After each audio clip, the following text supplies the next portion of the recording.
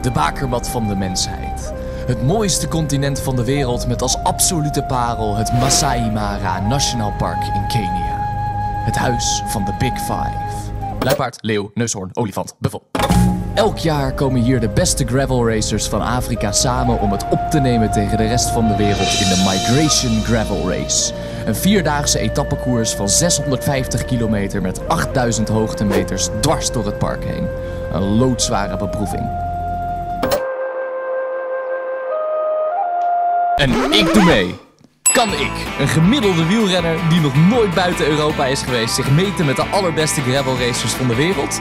Daar wil ik een BBB Cycling heel graag achter komen. Bedankt hè. Volg mij in dit bizarre avontuur naar de grootste koers uit mijn leven. Dit is mijn Migration Gravel Race. Top.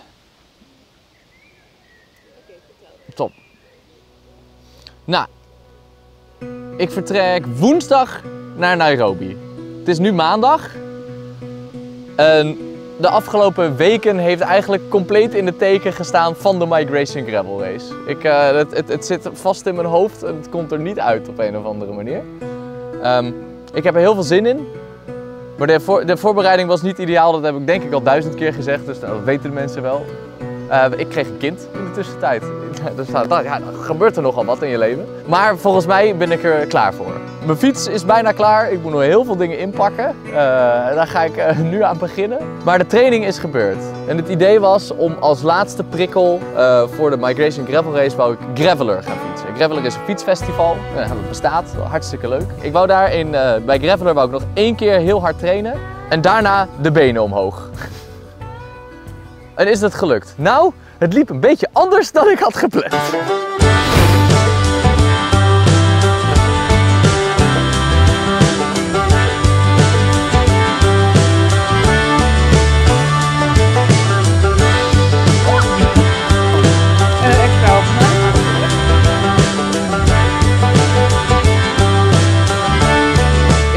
Dagje eerder, omdat ik, uh, mijn grote sponsoren waren er ook. BBB en Canyon. En uh, Wieler tegenwoordig ook.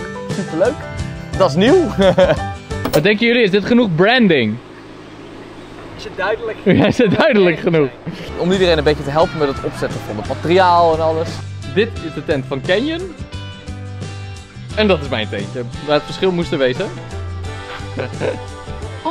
Plezier, geniet ervan. Dan zien we jullie uh, zo meteen. staat het vuur aan en het bier koud. Enjoy! Wee!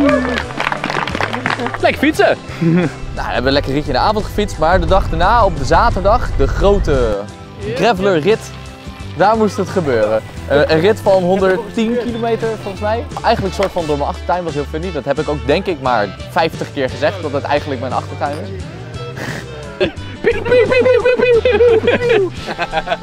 maar ik ben hier dus wel met een missie.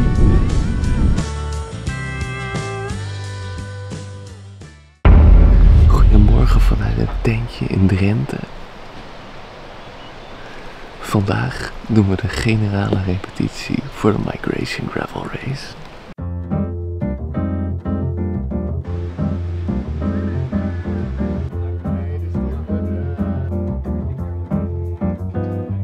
Leven. Uh... ik weet het niet. We leven een paar, vier dagen voordat ik vertrek naar Kenia. En uh, ik ben hier in het prachtige de Odoorn.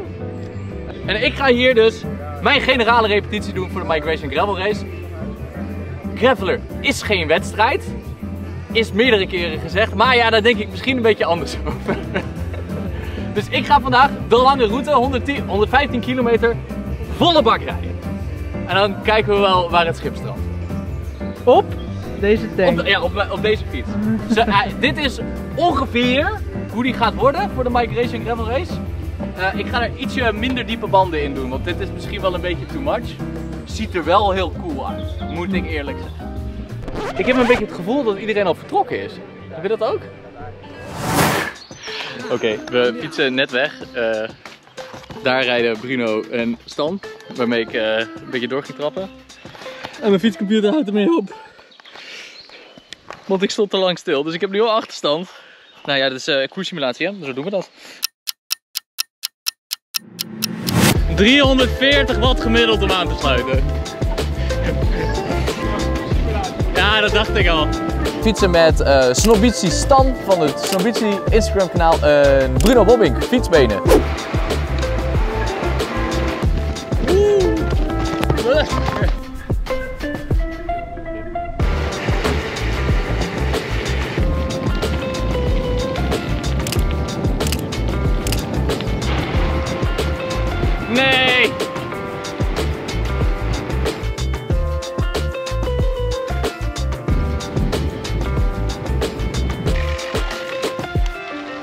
Het is een beetje alsof je in een achtbaan zit. Het is de hele tijd net niet comfortabel. En dat ging heel goed, totdat Bruno na 60 kilometer pal voor mijn voeten heel hard op zijn plaat ging.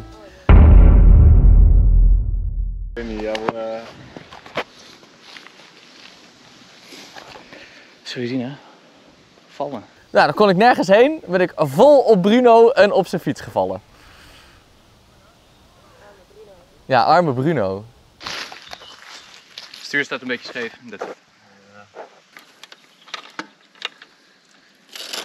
Nee, dat valt er erg mee.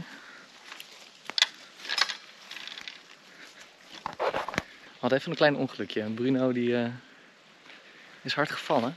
Ik viel bovenop zijn fiets. Dit vind ik de minder leuke dingen om te filmen.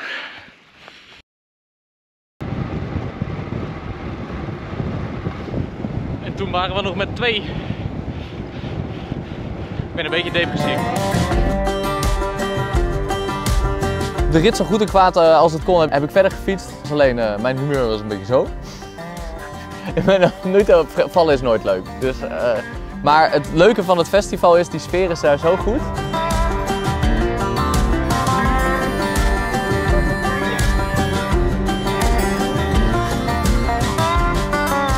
Hoe koerssimulatie wil je het hebben? Nou, dit was wel de ultieme koerssituatie. Eh, nee, de ultieme koerssimulatie. Ik ben eh, vol op Bruno gevallen. Dat is eh, niet heel goed afgelopen voor Bruno, jammer genoeg. Die heeft erg veel last van zijn sleutelbeen.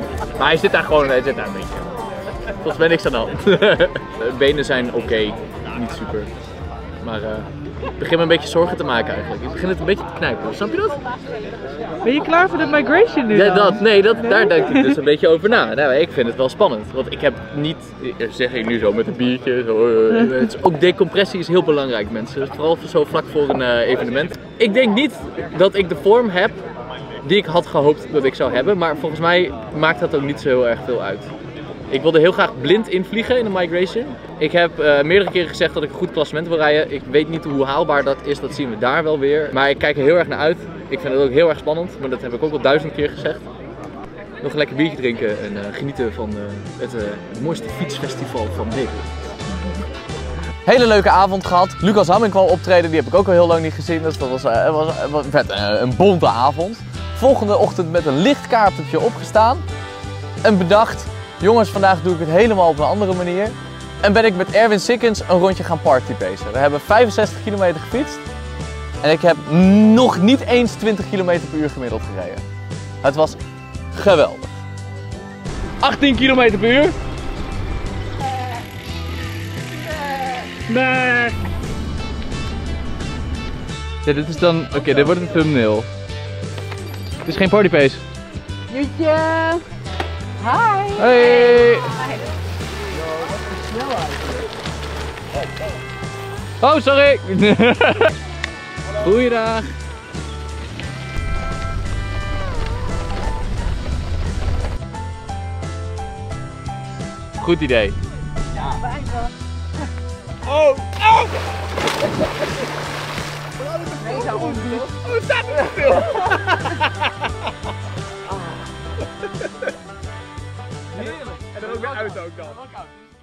Dit is zo ver buiten mijn comfortzone, die Migration Gravel Race.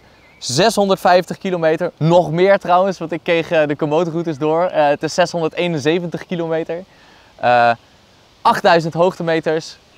Geen makkelijke dagen zitten ertussen. De vlucht is s'nachts, je hebt slaaptekort, je slaapt in tentjes. Het, het wordt grandioos hard afzien, maar ik ben er heilig van overtuigd dat het ook echt super mega leuk wordt. Nee, ik word niet opgegeten door een leeuw. Nee, tuurlijk niet. Ik, eh, ik ga er wel vanuit dat, me- dat, eh, dat de Maasai-stam die ons gaat beschermen wel van wanten weet. Weet je waar ik vooral het meeste zin in heb? Ik heb er heel veel zin in om nieuwe mensen te leren kennen. En volgens mij gaat dat helemaal lukken.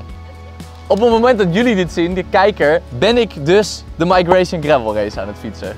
En er komt dus een documentaire over de migration. Daar ben ik dus, ja, deze serie hebben we er naartoe gewerkt, maar die docu die komt er. Die documentaire die, die wordt gelanceerd in Rideout Amsterdam. Entree wordt gratis, kom alsjeblieft langs. Ik word, volgens mij wordt dit een geweldige documentaire, ongeacht wat er gebeurt. en nu hoop ik dat ik heel thuis kom. Nou, ik weet even niet of er een video volgende week is, dat zien we dan wel weer. Maar ik zie jullie aan de andere kant, op naar Kenia. This is the wildest gravel race in the world. You will be tested. Meer van mijn werk blijven zien? Volg mij dan op Instagram en abonneer je op dit kanaal. Zo blijf je altijd op de hoogte van alle dingen die ik doe.